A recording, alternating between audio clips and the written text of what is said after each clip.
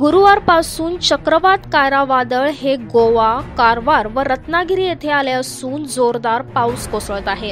शनिवारपर्यंत या चक्रवात वादळामध्ये वाढ होणार असून हे वादळ ऑक्टोबर तीस पर्यंत गोवा कोंकण मुंबई पुणे सातारा कोल्हापूर बेळगाव येथे अधिक वादळी अतिवृष्टी होणार आहे.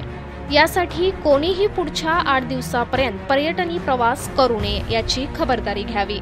हे चक्रवात वादळ अतिशय धोकादायी असून सव्वीस ऑक्टोबरपासून तीस ऑक्टोबर पर्यंत होणाऱ्या अतिवृष्टीमध्ये सर्वांनी काळजी घेण्याची गरज आहे.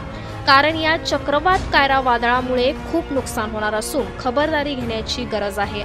शुक्रवारी पाऊस थोड्याफार प्रमाणात कमी झाला असला तरी या चक्रवात कायरा वादळामुळे मोठ्या प्रमाणात व ढगांच्या कडकडाटमध्ये जोरदार पाऊस होणार आहे. अशी माहिती हवामान खात्याकडून देण्यात आली आहे. नुकत्याच महापुरातून बाहेर पडलेल्या लोकांना या चक्रवात कायरा वादळामुळे आणखीन संकटांना सामोरे जावे लागणार आहे.